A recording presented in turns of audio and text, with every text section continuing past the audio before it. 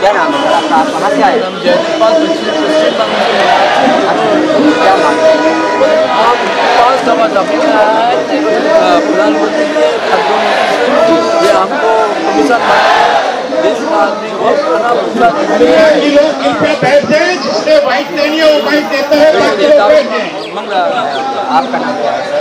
हमारा नाम है मोहम्मद जिन्नात अली मोहम्मद। सर से आए? बंगाल से है जिसने अपना बयान देना है ये प्रधानमंत्री बाकी लोग ये पे बैठते प्रधानमंत्री भी रेशन डीलर के साथ अच्छा नहीं कर रहे ये रेशन डीलर के साथ जुलूमबाजी कर रहे हम चाहता है ये प्रधानमंत्री को निपट जाने के बाद दूसरा प्रधानमंत्री जो आए हमारा डीलर संगठन में जो फैमिली है। जैसे आपने बताया कि ये प्रधानमंत्री निकल जाने के बाद दूसरा प्रधानमंत्री। है मान लो अगर आप मांगे दूसरी प्रधानमंत्री भी नहीं पूरी की फिर आप उसको भी निपटाओ। नहीं नहीं। हम लोग आंदोलन करेगा। आंदोलन जारी रहेगा चलते रहेगा। जब दिन नहीं अगर के जंतर मंतर पर विशाल मांगों को लेकर पाँच मांगों को लेकर यहाँ पे आए हुए विशाल धरना प्रदर्शन का आयोजन किया देख सकते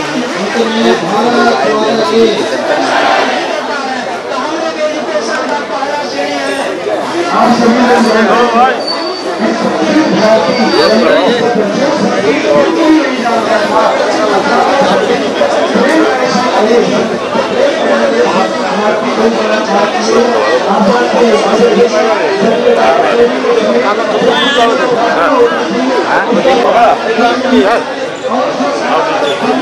आए हुए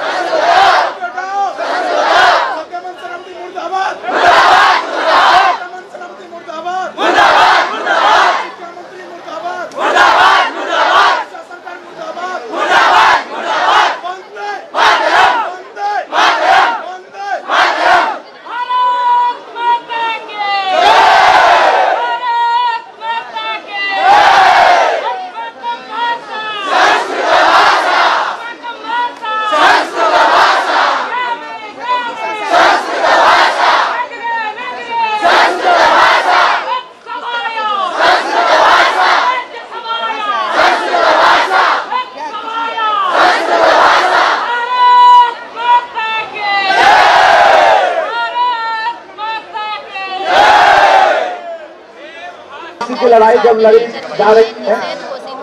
तो मैंने भी सोचा कि मेरी भागीदारिता बनती क्योंकि ये लड़ाई केवल उड़ीसा के छात्रों के नहीं है, ये बल्कि वो समस्त वो समस्त छात्रों की है, जो संस्कृत पढ़ रहे हैं, और जो भारत में रहते हैं, और वो संस्कृत की बात करते हैं, वो सब की लड़ाई है, इसलिए आज मैं उपस्थित मेरी तरफ़ से हुआ हूँ।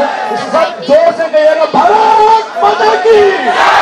भारत माता की वंदे वंदे मैं कहूँगा हाउ द जॉन आप कहेंगे hi sir how the John hi sir how the John hi sir how the John hi sir अब मैं कहूँगा क्यों नहीं रही नवीन वाला है। पटनायक सरकार को नहीं पूरा है। का? नवीन पटनायक जान ले।